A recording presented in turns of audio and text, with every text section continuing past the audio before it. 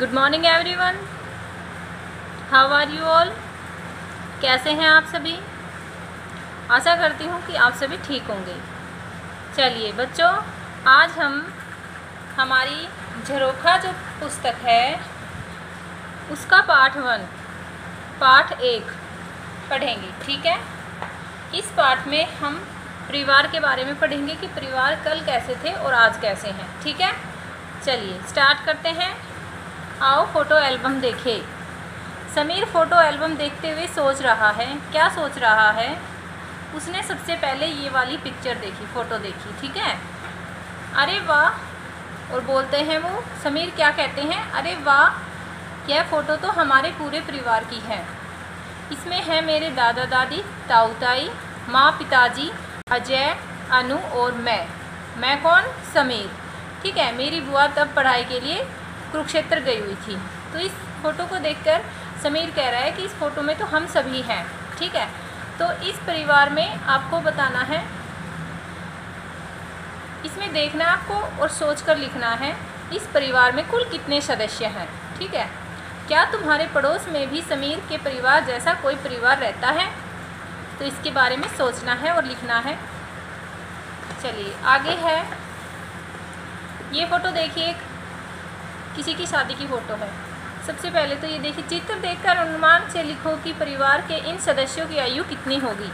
तो जो पिक्चर हमने पीछे देखी थी तस्वीर, जो फ़ोटो हमने पीछे देखी थी, उसमें क्या दादाजी हैं, उनकी उम्र, दादी की उम्र, सोच के लिखना है कि कितनी हो सकती है, अपने अंदाजे लगाकर, ठीक है?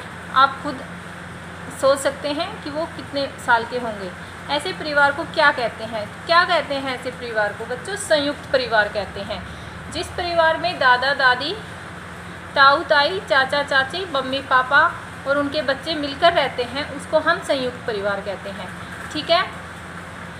चाचा की शादी। अब समीर के चाचा की शादी है ये। ठीक है? यह फ़ोटो तब की है जब मेरे चाचा की शादी हुई थी। कितना मज़ा आया था शादी में। ठीक है? तो अब ये बताओ, सोच कर लिखना है। समीर के चाचा की शादी के बाद घर में जो नया सदस्य आया है, समीर, उसे क्या कहकर बुलाएगा? बताओ। चाचा के साथ जो उनकी वाइफ आएगी, उसको क्या बुलाएगा, समीर? चाची। अगर समीर की बुआ की शादी हो गई होती तो परिवार के सदस्यों की संख्या में क्या परिवर्तन आता? शादी करके बुआ तो अपने ससुराल चली जाएगी तो सदस्य की संख्या, एक सदस्य की संख्या घट जाएगी और चाचा की शादी हुई है तो एक सदस्य की संख्या बढ़ जाएगी। क्योंकि उनकी वाइफ आएगी, है ना?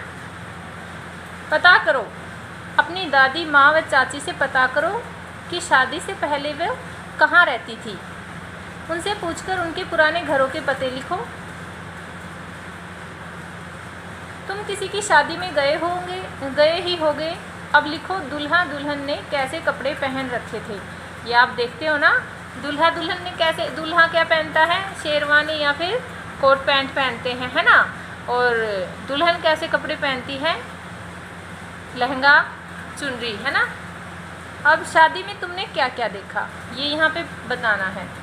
नन, घर आई नन्ही परी। यह फ़ोटो मेरी छोटी बहन खुशी के जन्म के समय की है। बाप रे, कितना रोती थी वह सारा दिन। ये खुशी के मतलब समीर की छोटी बहन। ठीक है? उसके जन्म की है ये तस्वीर। अब बताओ समीर के परिवार में कौन सा नया सदस्य शामिल हो गया? कौन आया? खुशी। क्या पिछले पिछले कुछ वर्षों में तुम्हारे परिवार में भी किसी बच्चे ने जन्म लिया है?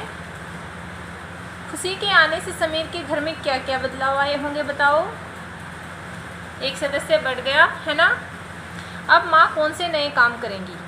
माँ अब कौन से का, काम करेंगी? खुशी के का, खुशी का काम करना पड़ेगा है ना मम्मी को? चलिए। हमारा नया घर। देखिए, अब इस पिक्चर में कौन कौन है? समीर है, समीर की माँ है, उनके पिताजी है और उनकी बहन खुशी है। यह फ़ोटो हमारे नए घर की है। पिताजी का तबादला गाँव के स्कूल के से शहर के स्कूल में हो गया था।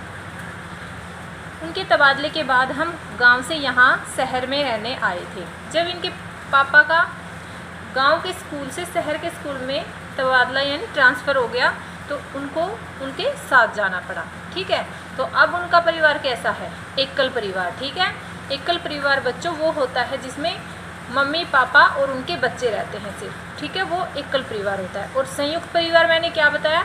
जिस परिवार में दादा, दादी, मम्मी, पापा, ताई ताऊ जी और चाचा, चाची और उनके बच्चे मिलकर रहते हैं, उसको संयुक्त परिवार कहते हैं, ठीक है? तो ये चीज़ें आज हमने सिर्फ़ संयुक्त परिवार और एकल परिवार के बारे में पढ़ा है, ठीक है?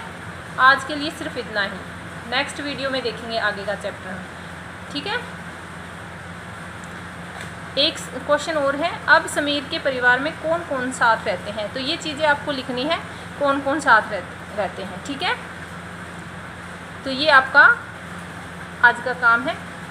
मतलब इसको अच्छे से पढ़ना है, समझ के पढ़ना है। ठीक है?